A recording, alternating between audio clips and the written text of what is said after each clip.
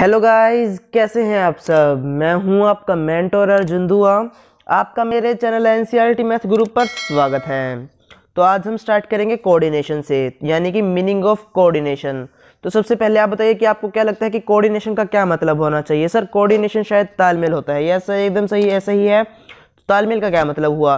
तो तालमेल यानी कि हमें एक दूसरे में कोऑर्डिनेट करना यानी कि एक दूसरे को एक साथ लेकर चलना है। इस तरह से हम कह सकते हैं। यस सर यही बताना है।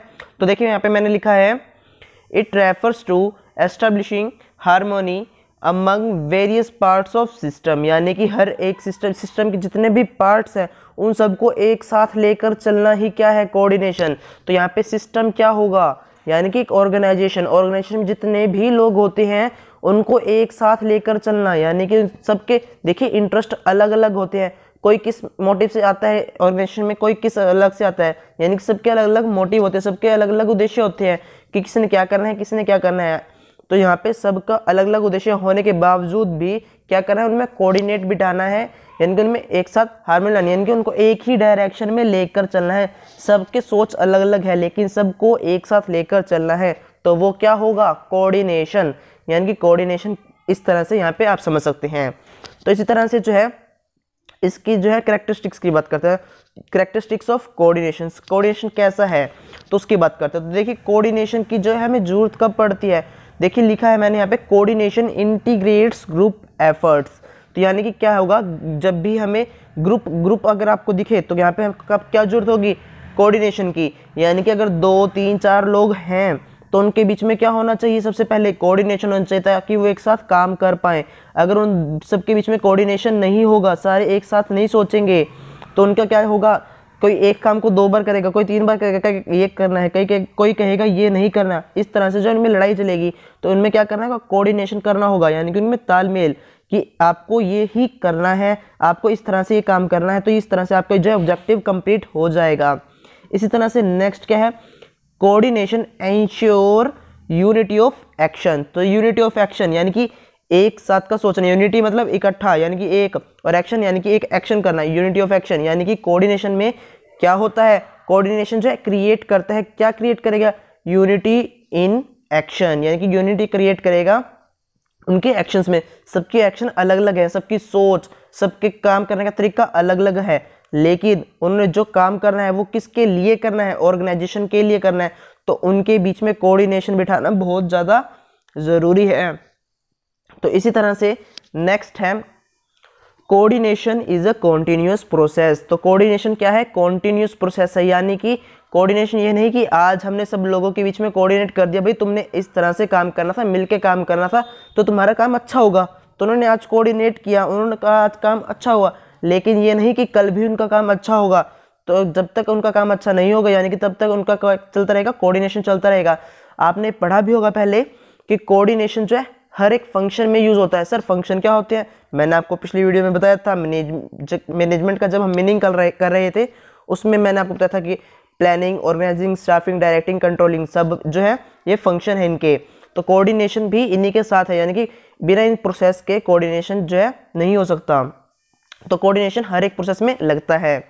इसी तरह से कोऑर्डिनेशन क्या हो जाएगा? कॉन्टिन्यूस प्रोसेस हो जाएगा, यानी कि लगातार चलने वाला एक प्रोसेस इसी तरह से नेक्स्ट क्या है?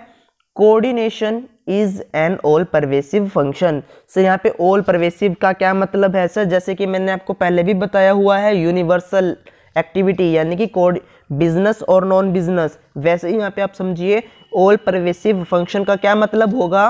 कि बिज़नेस और नॉन बिज़नेस यानी कि दोनों तरह के जो बिज़नेस है, यानी कि बिज़नेस और नॉन बिज़नेस इन दोनों जगहों पर क्या ज़रूरी है? कोऑर्डिनेशन ज़रूरी है। विदाउट कोऑर्डिनेशन ना बिज़नेस रन कर पाएगा, ना घर काम कर पाएगा। यानी कि उन घर में भी, यानी कि एक हाउस में अगर कोऑर्डिनेशन सही नहीं होगा तो वहाँ पे भी काम सही से नहीं हो पाएगा। स्टूडेंट अगर स्टूडेंट कोऑर्डिनेट नहीं कर पाएगा टीचर से, अपने सब्जेक्ट से तो वो भी काम नहीं कर पाएगा। यानी कि बिज़नेस और नॉन बिज़नेस दोनों के एग्ज़ाम्पल मैंने आपको बताए। इस तरह से दोनों में बहुत ज़्यादा ज़रूरी होता है कोऑर्डिनेशन इसी तरह से नेक्स्ट क्या है?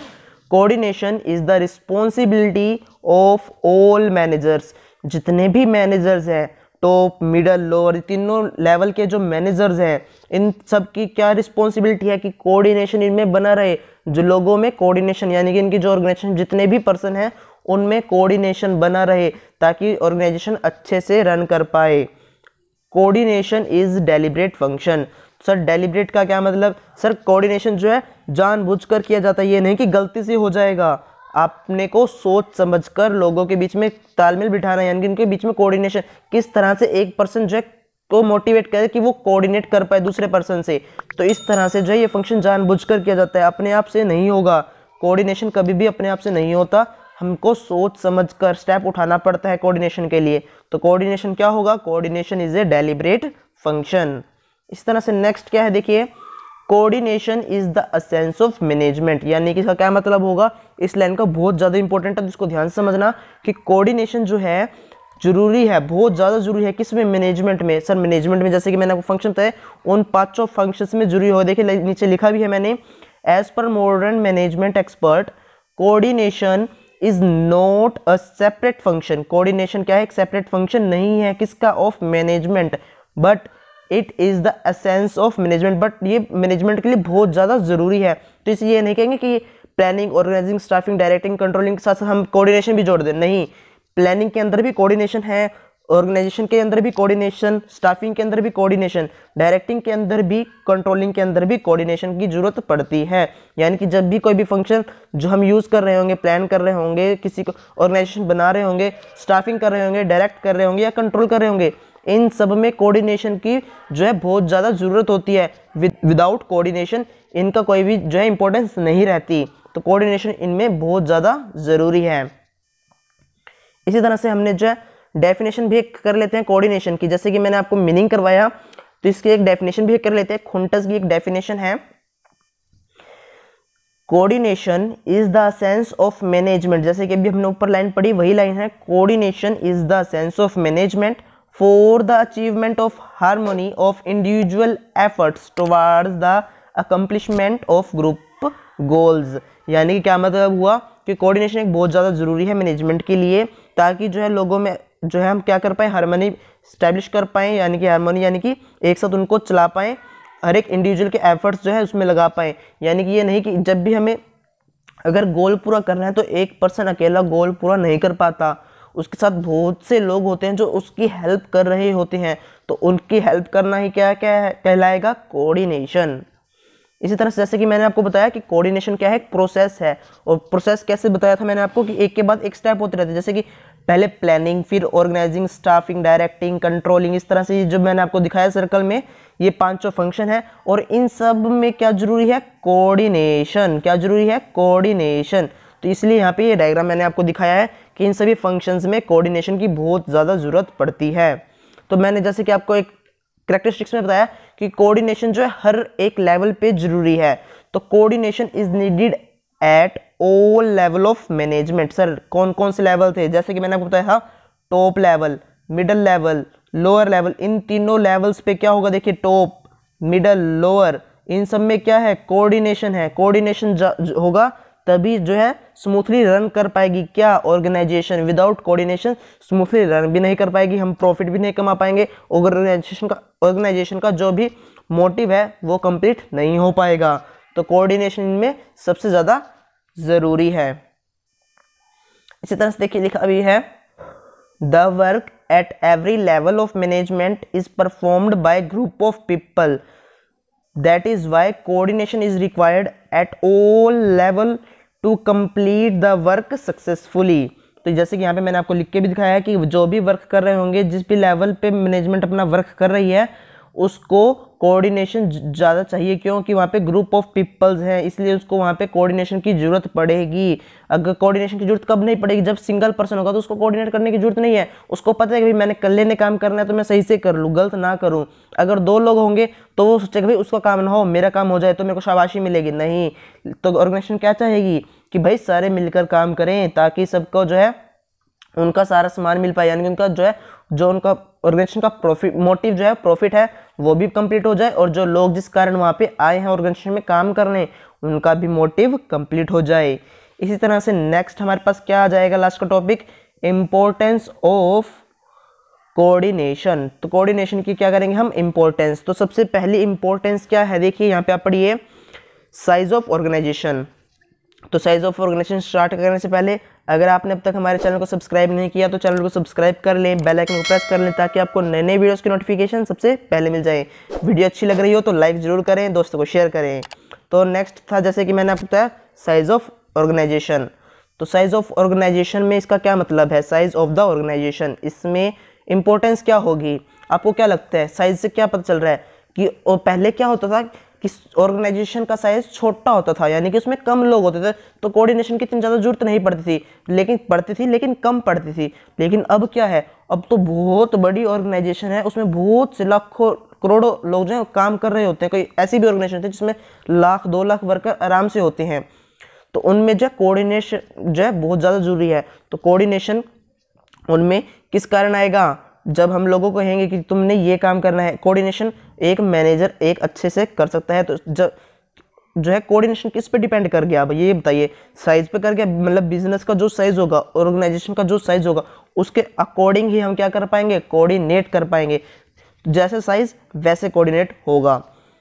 फंक्शनल डिफ्रेंशिएशन फंक्शनल डिफ्रेंशिएशन का मतलब सर फंक्शनल डिफ्रेंशिएशन का क्या मतलब है? जैसे कि मैंने आपको पहले भी बताया है आपको फिर बता देता हूँ, जैसे कि शायद मैंने आपको बताया कि हर एक लोग अलग अलग मोटिव से आते हैं तो इसीलिए उनका जो है फ़ंक्शंस जो है उनके अलग अलग होंगे।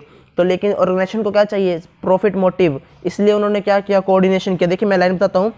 There may be clash of interest among the various department in the organization तो यहाँ से आपको क्या पता चलता है कि ऑर्गेनाइजेशन में जितने भी डिफरेंट डिफरेंट डिपार्टमेंट होते हैं सर डिपार्टमेंट मतलब डिपार्टमेंट मतलब मैं बताता हूँ, देखिए डिपार्टमेंट मतलब जैसे कि purchase department sales department financial department इनके अलग अलग डिपार्टमेंट होते हैं फाइनेंस के। इनके अलग अलग डिपार्टमेंट हैं।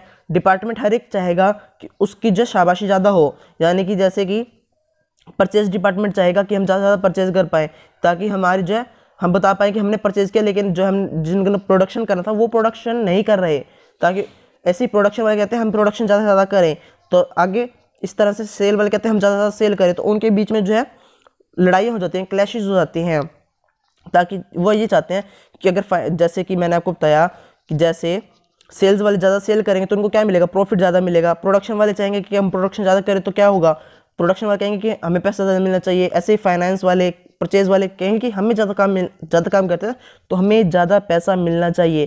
तो इस तरह से जो उनके बीच में लड़ाई होगी क्लैशेज होंगे तो इसलिए उन्होंने क्या किया कि भाई आपको सेल्स मैनेजर को क्या कहा कि हमें डेली की 1000 यूनिट्स जो सेल करनी है। 1000 डेली सेल करनी है तो 1000 डेली बनेंगी। 1000 बनेंगी तो उनके लिए प्रोडक्ट चाहिए होगा। प्रोडक्ट चाहिए तो उनके लिए पहले पैसा होना चाहिए। तो इन सब पे ये डिपेंड करेगा। सबके फ़ंक्शंस अलग अलग हैं, लेकिन उन सबको लेकर एक साथ चलना क्या है? कोऑर्डिनेशन है।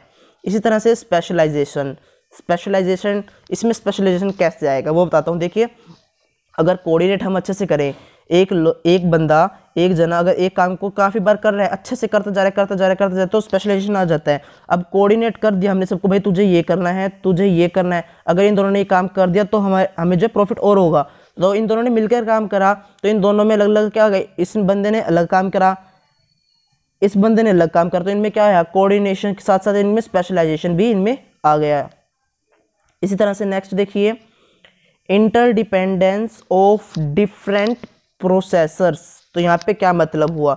इंटर डिपेंडेंस जैसे कि इंटर डिपेंडेंट मतलब पहले आप डिपेंड का मतलब समझिए डिपेंड यानी कि किसी पर निर्भर रहना इंटर डिपेंड यानी कि एक दूसरे पर निर्भर रहना। अब एक दूसरे पर किस तरह से निर्भर हो गए जब भी हम जैसे कोऑर्डिनेशन की बात करें, एक दूसरे पर निर्भर तो वैसे हो जाएगा कि अगर उसने काम नहीं किया तो मैं कैसे कर पाऊँगा?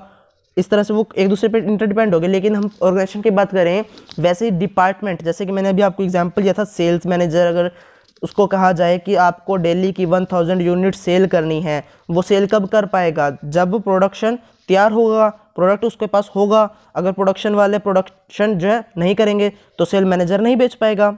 सेल्समैन आगे नहीं बेच पाएँगे। अगर प्रोडक्शन वाले ने प्रोडक्शन वाला क्या कहता है कि भाई, तुम पहले परचेज डिपार्टमेंट ने जो है परचेज ही नहीं किया तो मैं कहाँ से बनाऊँ प्रोडक्शन प्रोडक्शन कहाँ से करूँ? तो इसी तरह से जो है प्रोडक्शन वाला क्या कहेगा, भाई फाइनेंस मैनेजर ने मेरे को पैसे नहीं दिए फाइनेंस डिपार्टमेंट ने मेरे को पैसे नहीं दिए तो मैं कहाँ से सामान खरीदूँ? तो ये सारा क्या है? एक दूसरे पर डिपेंड है। तो इन सबको साथ में लेकर चलना ही कोऑर्डिनेशन है। तो यहाँ पे हम कह सकते हैं कि एक दूसरे पर ये डिपेंड रहते हैं, लेकिन इनका जो काम है वो अलग अलग होता है। फिर भी एक दूसरे पर डिपेंड है।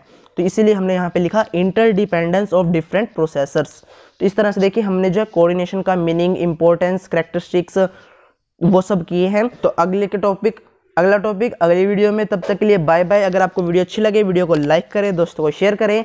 अगर आप हमारे चैनल पर नए हैं चैनल को सब्सक्राइब कर लें, ताकि आपको नए नए वीडियोस की नोटिफिकेशन सबसे पहले मिल जाएँ।